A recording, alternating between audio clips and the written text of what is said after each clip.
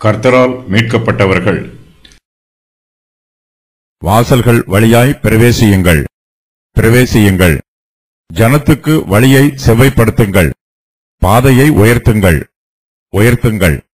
அதிலுள்ள கற்களை பொறுக்கி போடுங்கள். ஜனங்களுக்காக கொடியை ஏற்றுங்கள். நீங்கள் சீயோன் குமாரத்தியை நோக்கி இதோ உன் ரட்சிப்பு வருகிறது. இதோ அவர் அருளும் பலன் அவரோடும் அவர் செய்யும் பிரதிபலன் அவர் முன்பாகவும் வருகிறது என்று சொல்லுங்கள் என்று கர்த்தர் பூமியின் கடையாந்தரம் வரைக்கும் கூறுகிறார். அவர்களை பரிசுத்த ஜனம் என்றும் கர்த்தரால் மீட்கப்பட்டவர்கள் என்றும் சொல்லுவார்கள். நீ தேடிக் கொள்ளப்பட்டதென்றும் கைவிடப்படாத நகரம் என்றும் பெயர் பெறுவாய். இந்த வசன பகுதியில் சொல்லப்பட்டிருக்கிற தீர்க்க தரிசனம் பாபிலோன் தேசத்து சிறையிருப்பில் இருக்கிற யூதர்களுடைய விடுதலையை பற்றி சொல்லுகிறது. மேலும் கர்த்தராகிய இயேசு கிறிஸ்துவின் மூலமாய் மனுக்குலத்திற்கு நியமிக்கப்பட்டிருக்கிற ஆத்தும மீட்பை பற்றியும் சொல்லுகிறது. இயேசு கிறிஸ்துவின் மூலமாய் சுவிசேஷத்தின் கிருபையும் ஆத்மாவுக்கு விடுதலையும் அறிவிக்கப்படுகிறது. பாபிலோன் தேசத்து சிறையிருப்பில் இருந்து யூதர்கள் விடுதலை பெற்று தங்கள் தேசத்திற்கு திரும்பி போகும்போது அவர்களுக்கு செவ்வையான பாதை உண்டாயிருக்கும். பாபிலோன் தேசத்தில் இருந்து இஸ்ரவேல் தேசம் வரையிலும் அவர்களுக்கு செவ்வைப்படுத்தப்பட்ட வழி ஏற்படுத்தப்பட்டிருக்கும். போகும் பாதையில் பள்ளங்கள் இருக்கும் இடங்களில் அந்த பாதைகள் உயர்த்தப்பட்டிருக்கும். கற்கள் நிரம்பி இருக்கிற இடங்களில் அதிலுள்ள கற்கள் பொறுக்கப்பட்டிருக்கும். இஸ்ரவேல் ஜனத்தார் தங்கள் தேசத்திற்கு திரும்பி போகும் பாதை மேடு பள்ளம் இல்லாமல் சமதளமாகவும் கற்களும் தடைகளும் இல்லாமல் சுத்தமாகவும் இருக்கும். புதிய ஏற்பாட்டு காலத்தில் யோவான் ஸ்நானன் கர்த்தருக்கு வழியை ஆயத்தம் பண்ணுவதற்காக அனுப்பப்பட்டார். கர்த்தருக்கு வழியை ஆயத்தப்படுத்துங்கள். அவருக்கு பாதைகளை செவ்வை பண்ணுங்கள் என்று வனாந்திரத்திலே கூப்பிடுகிறவனுடைய சத்தம் உண்டு என்று ஏசாயா தீர்க்கதரிசியினால் சொல்லப்பட்டவன் இவனே. மத்தேயு மூன்று மூன்று. பாபிலோன் தேசத்து சிறையிருப்பில் இருந்து விடுதலை பெற்று தங்கள் தேசத்திற்கு திரும்பி போகிற ஜனங்களுக்கு கர்த்தர் ஆறுதலான வார்த்தைகளை சொல்லுகிறார். தம்முடைய வாக்குத்தத்தங்களினால் அவர்களை உற்சாகப்படுத்துகிறார். வாசல்கள் வழியாய் பிரவேசியுங்கள் பிரவேசியுங்கள். ஜனத்துக்கு வழியை செவ்வைப்படுத்துங்கள். பாதையை உயர்த்துங்கள் உயர்த்துங்கள். அதில் உள்ள கற்களை பொறுக்கி போடுங்கள். ஜனங்களுக்காக கொடியை ஏற்றுங்கள் என்று கர்த்தர் சொல்லுகிறார்.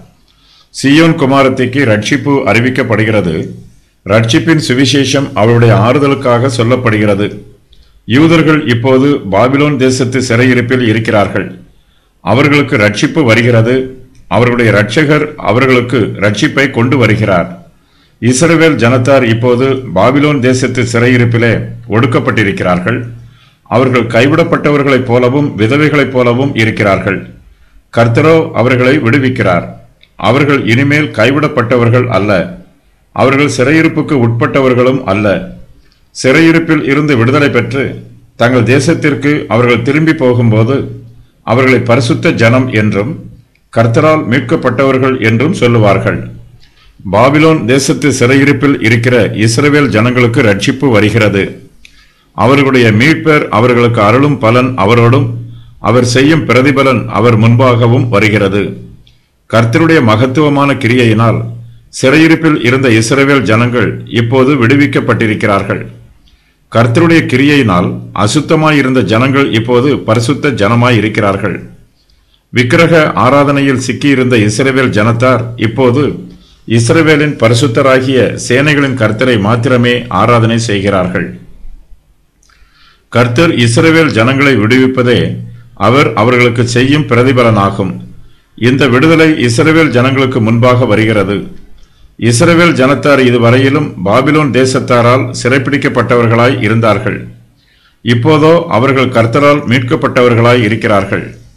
கர்த்தர் எருசலேமுக்கு புதிய பெயரை கொடுக்கிறார். நீ தேடிக்கொள்ளப்பட்டது என்றும் கைவிடப்படாத நகரம் என்றும் பெயர் பெறுவாய் என்று கர்த்தர் எருசலேம் நகரத்திற்கு சொல்லுகிறார். எருசலேம் நகரம் கர்த்தருடைய பரிசுத்த நகரம். ஏராளமான ஜனங்கள் அந்த நகரத்தை தேடி அங்கு கூடி வருவார்கள். ஜனங்கள் எருசலேம் நகரத்தை கைவிட மாட்டார்கள். எருசலேம் முதலாவதாக பரிசுத்த நகரம் என்று அழைக்கப்பட்டது. அதன் பின்பு அது தேடிக்கொள்ளப்பட்ட நகரம் என்று அழைக்கப்படுகிறது. பரிசுத்தம் இருக்கும் இடத்தில் மதிப்பும் மரியாதையும் கனமும் மகிமையும் தேடி வரும். எருசலேம் நகரத்தை ஜனங்கள் கைவிடாமல் அதை தேடி வருவார்கள். கர்த்தர் இந்த சத்திய வசனத்தை பூமியின் கடையாந்திரம் வரைக்கும் கூறுகிறார். இது இயேசு கிறிஸ்துவின் சுவிசேஷத்தை குறிப்பிடுகிறது. கர்த்தருடைய சத்தியம் முதலாவதாக அவருடைய சபைக்கு அறிவிக்கப்படுகிறது. சத்தியம் சபைக்கு அறிவிக்கப்பட்டாலும் அது எல்லா தேசங்களிலும் எதிரொலிக்கிறது. உலகம் முழுவதிலும் உள்ள ஜனங்களுக்கு இதோ உன் ரட்சிப்பு வருகிறது. இதோ அவர் அருளும் பலன் அவரோடும் அவர் செய்யும் பிரதிபலன் அவர் முன்பாகவும் வருகிறது என்று அறிவிக்கப்படுகிறது. கிறிஸ்துவானவர் ரட்சகர் மாத்திரமல்ல அவரே ரட்சிப்பாகவும் இருக்கிறார்.